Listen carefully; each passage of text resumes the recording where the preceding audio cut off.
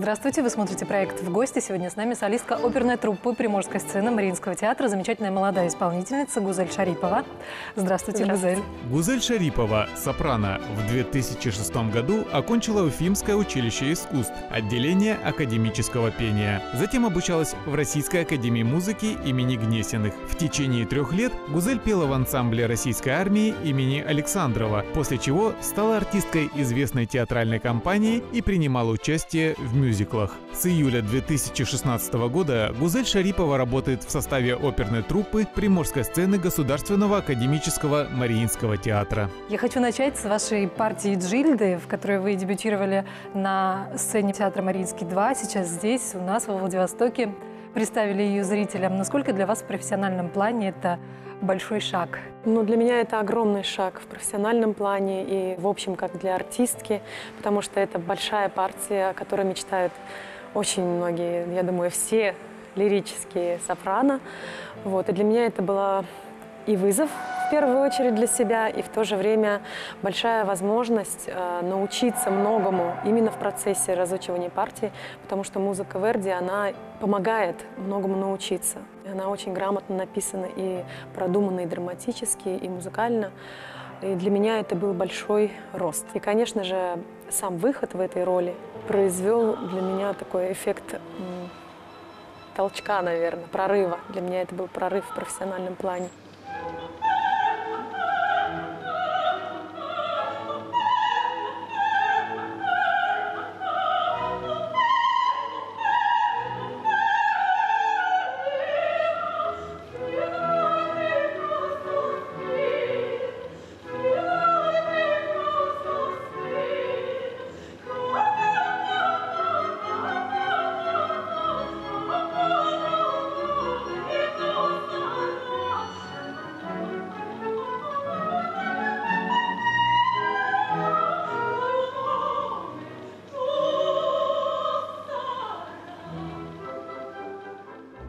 Скажите, а какую Джильду вам было легче прочувствовать? Ту невинную, светлую, которая встречает нас в начале да, оперы, или девушку с драматичной, трагической судьбой, которой завершается произведение? Да, настолько большие изменения происходят психологически да, да, да, да, в этом образе, в этой, в этой девушке.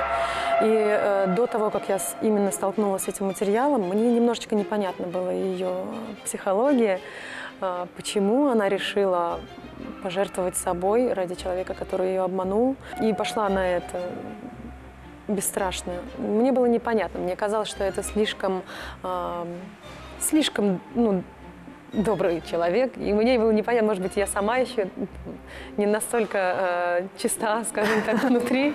Вот. Э, но когда я начала петь эту музыку, я начала в процессе понимать, где происходят переломные моменты в человеке. И и все, что мне было непонятно, мне вдруг стало понятно, почему и где, в какой момент она стала другим человеком.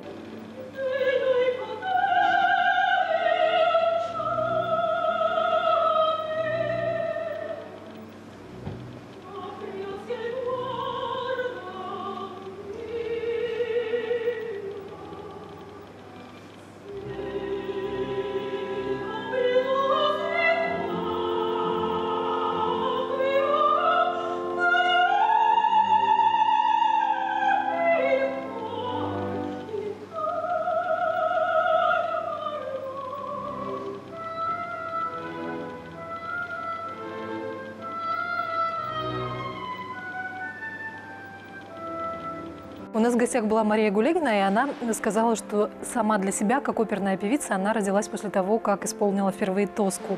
Вот из тех партий, которые уже сейчас есть в вашем репертуаре, есть ли та, с которой вы для себя родились вот как оперная Это именно партия Джильда. Я действительно почувствовала, что я в этом жанре не случайно именно исполняя эту партию. Хотя, конечно, ее можно точить очень долго. Я думаю, работы еще много. И с каждым выходом я понимаю, что она становится лучше и лучше, эта партия. Но э, я стала уверенно себя чувствовать вообще в этом жанре. Ну уж коль скоро вы заговорили о жанрах, э, думаю, для наших зрителей будет интересно узнать, что у вас очень интересная профессиональная биография, потому что, обучаясь академическому вокалу, вы после были участницей легендарного коллектива ансамбля имени Александрова, да, это такая военная структура. Да. Э, пели в мюзиклах, в крупных московских, одной из самых известных компаний. И потом все же оказались на э, оперной сцене. Что, Да, это, что этот путь был для вас? Поиски себя? Или, или вы так подбирались вот к этой главной сцене оперной? Ну, мечта именно петь в опере у меня была всегда. Вот как только я столкнулась в музыкальной школе с академическим пением и поняла, что у меня может получиться, а, я мечтала об этом, но мне было всегда страшновато. У меня было немножечко, может быть, предвзятое мнение, что очень тяжело в этом жанре и в этой профессии именно пробиться и выделиться. И, может быть, где-то это правда, конечно. Очень большая конкуренция сейчас, особенно среди сопрано. И вот эти страхи мне мешали напрямую пойти и показать себя, все, что я могу, развиваться, не бояться. То есть были какие-то сомнения. В ансамбль Александрова я попала, ну, то есть я пришла прямо на прослушивание, я хотела туда попасть, потому что для меня это был определенный уровень, и э, мы очень много работали, у нас были интересные проекты, у нас были заинтересованные ребята и коллеги, и руководство. Это было очень интересно, очень много было гастролей, мы развивались, мы пробовали новые какие-то жанры, новые направления, и мы именно работали в том направлении, чтобы нести искусство э, молодым солдатам. Вот. э, Не только вот именно в академическом понимании да, военную, э, военную музыку, но и э, как-то донести этот патриотический дух э, на языке вот нашей молодежи. И нам это, естественно, было интересно. В мюзиклы я попала, просто у меня было настроение сходить на этот кастинг. Я ни на что не надеялась, потому что я понимала, что нужно уметь все там. Нужно уметь хорошо танцевать, хорошо петь и еще играть актерски. Я понимала, что, может быть, я вокально что-то изображу в той манере, и, м, просто по интуиции. Но учиться танцам и, и актерскому мастерству мне еще надо было. Вот. Хотя танцами я занималась. Может быть, меня это подстегнуло пойти на кастинг. Был достаточно серьезный, сложный кастинг. Я увидела, сколько народу хочет попасть в этот проект. И тогда мне стало, естественно, интереснее. Я начала вдруг двигаться, стараться. Два года я проработала в мюзикле «Русалочка». Это было очень весело и, с одной стороны, интересно и вроде бы как бы детский сюжет, и вроде это все мультик, и все это сказка, но это была колоссальная работа и огромный рост профессиональный для меня, потому что я понимала, насколько высокая планка. Я увидела этот уровень качества работы, который достоин действительно э, публики, мировой публики. И я думаю, что эта планка, надеюсь, что и в будущем, и по жизни она мне будет помогать э, стараться соответствовать этому уровню и не расслабляться. Дальше был мюзикл «Призрак оперы». Это уже, да. Это Да. даже те, кто никогда не слышал этот мюзикл, Да, знают очень. его Это легендарный мюзикл, и он к нам приехал именно в том виде, в котором он изначально был поставлен, то есть э, лицензионная версия. Это тоже была для меня большая честь в нем участвовать. Я получила большой опыт. Также очень много друзей у меня появилось вот, благодаря мюзиклам. Некоторые из этих друзей, с которыми мы сейчас до сих пор близко общаемся, они меня подтолкнули к тому, что ты все-таки должна попробовать себя в той сфере, в которой ты получила образование, в своей квалификации. Тебе действительно есть что показать. То есть они меня убедили в том, что мне есть что показать. И я как-то вот, отбросив эти страхи и сомнения, пошла на прослушивание, когда узнала, что идет набор сюда, на приморскую сцену. Из тех молодых артистов, которые приехали сюда на приморскую сцену Мариинского театра, многие признавались, что э, с точки зрения статуса, да, это, конечно, очень привлекательное место, но с точки зрения географии для многих оно было несколько пугающим. Как это было в вашем случае? Конечно, когда шла на прослушивание, я хотела попасть в труппу. Прошло достаточно много времени как, э, до того, как я получила официальный ответ, что меня принимают. Но когда я это услышала по телефону, я испугалась. То есть я думаю, ой, а можно я там подумать, у меня есть время? То есть я действительно не была готова так далеко уехать. Хотя мне чисто физически это несложно было, потому что, видимо, было много гастролей, и я уже не привязывала себя к какому-то конкретному месту. Мне комфортно везде. Э, Как и настоящий артист привыкли уже жить в дороге, да? да, и мне даже нравится это ощущение нового города, и когда ты осваиваешь новый город, новое окружение, новых людей, это дискомфорт. Но мне этот дискомфорт даже нравится теперь. Каждый раз, когда я нахожусь в новом обществе или в новом месте, я получаю удовольствие. Чувствуете ли вы здесь а, некие традиции Мариинки, которые вот пытаются, несмотря на огромное расстояние, разделяющее два наших театра, принести Конечно. сюда и Конечно. Валерий Писалыч, и очень многие люди? Вот даже то, что у нас ставятся постановки, которые идут также и в Мариинке, в главной, это уже меня настолько сильно вдохновляет. Когда я вижу, что на моем костюме написано фамилия Нетребко, я понимаю, что мне просто не то, чтобы некуда отступать, я должна развиваться, и у меня есть все для того, чтобы вот э, развиваться, расти. Нам дают и маленькие партии, и большие партии, и характерные, и такие э, действительно лирические. То есть у нас есть все для молодых артистов, что поможет нам расти, развиваться и учиться многому. И уровень, конечно же, мы чувствуем, вот я чувствую во всем.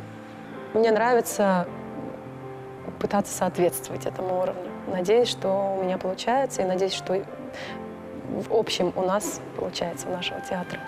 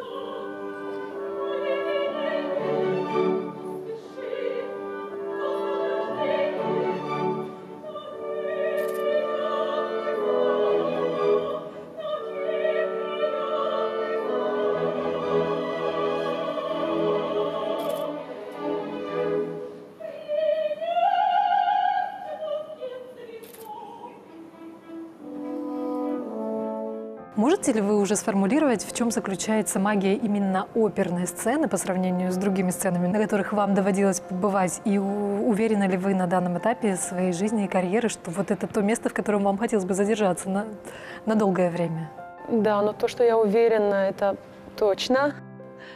Просто даже не могу это объяснить, э, когда я на сцене нахожусь и пою именно оперу. Я просто понимаю, что для меня это самое естественное состояние, именно такое пение. И этому можно учиться всю жизнь. И голос меняется. И, и если ты хочешь расти, ты растешь и как бы наблюдаешь за собой, за своим голосом.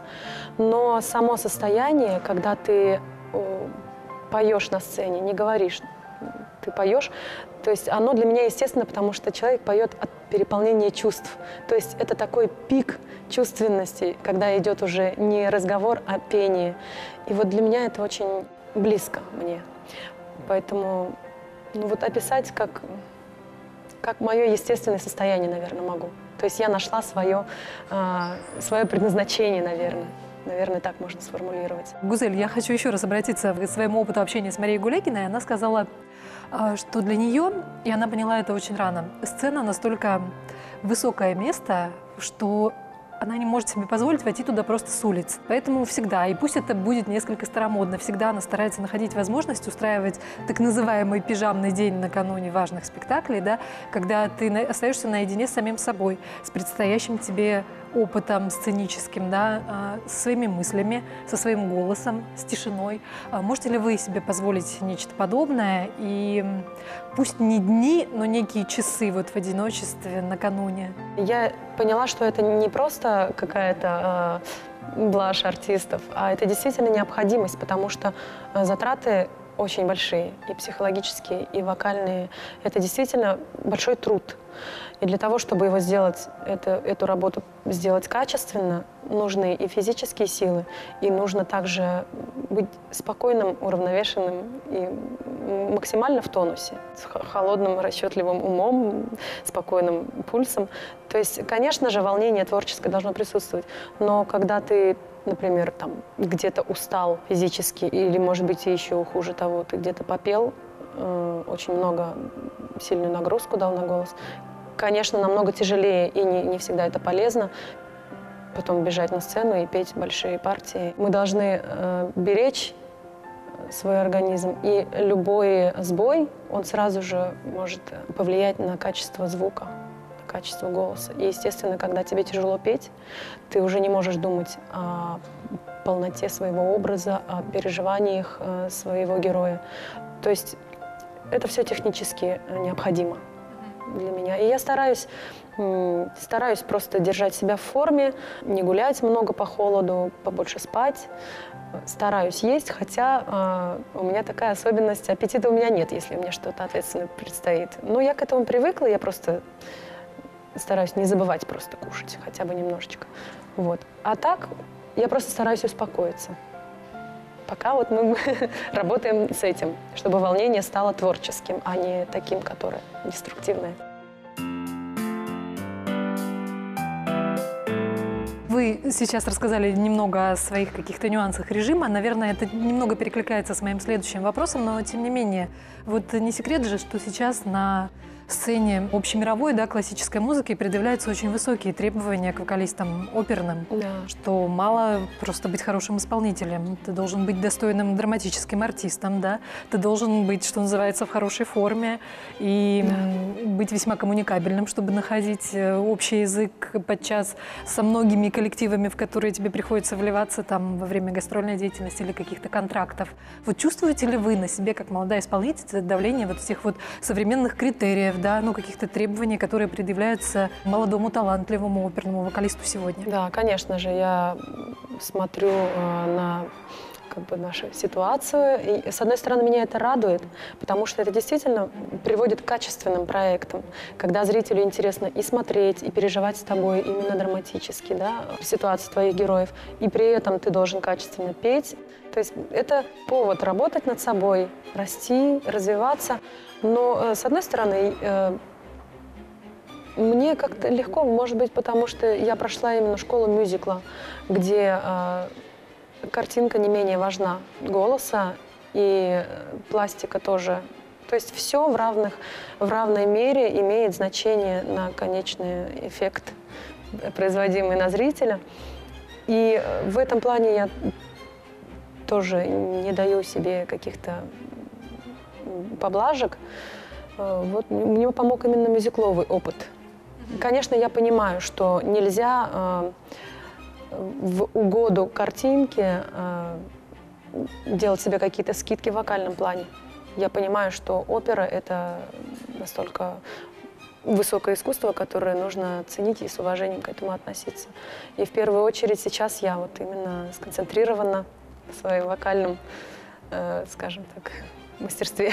Понятно, что вы уже комфортно чувствуете себя в роли оперной исполнительницы, но музыка других жанров, насколько она присутствует рядом с вами в вашей жизни, э, не обязательно для исполнения на сцене, возможно, для прослушивания, возможно, для исполнения где-то, ну, в каких-то совсем небольших компаниях. Одним словом, за рамками оперы.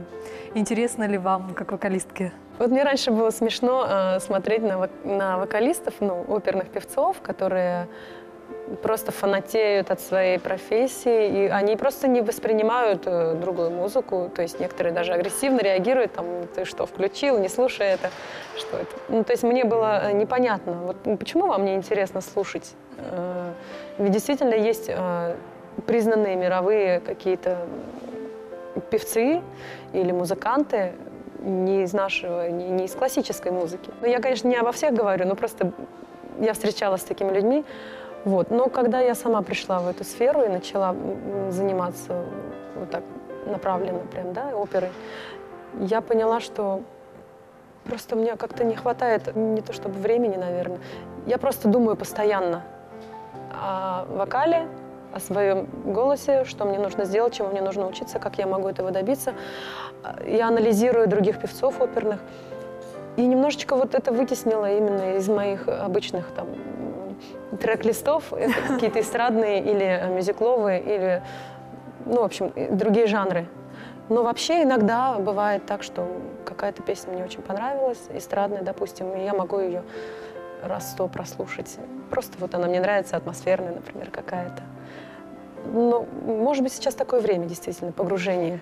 Гузель, мой, наверное, заключительный вопрос касается Владивостокской публики. Насколько вы чувствуете поддержку вашего зрителя на, э, на тех спектаклях, на которые приходят э, ваши поклонники и вообще зрители Приморской сцены Мариинского театра?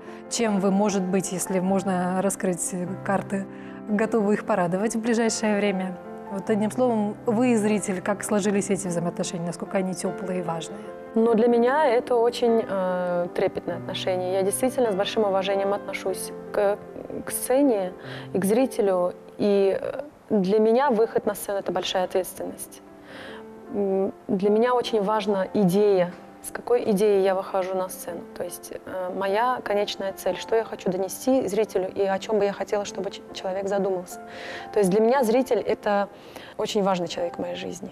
Очень, ну, может быть, в общем, да, вообще зрители — это люди, собственно, для которых мы все и есть. Вот, чтобы мы что-то несли. И я надеюсь, что у зрителя происходят какие-то ну, приятные переживания, может быть, действительно какие-то переломные моменты в душе. Но зрители нас принимают очень тепло. Это я могу сказать точно. И мне всегда приятно осознавать, что люди не пожалели то время, которое они потратили. То есть, судя по реакции, например, да, вот человек пришел, потратил свои часы вечерние, и он получил что-то хорошее. Мне это очень приятно и радостно всегда осознавать. Спасибо вам за этот разговор. Я думаю, многим зрителям было приятно познакомиться с такой замечательной, молодой, талантливой, перспективной участницей нашей оперной труппы. Поэтому успехов вам и спасибо, что были сегодня с нами. Спасибо вам большое.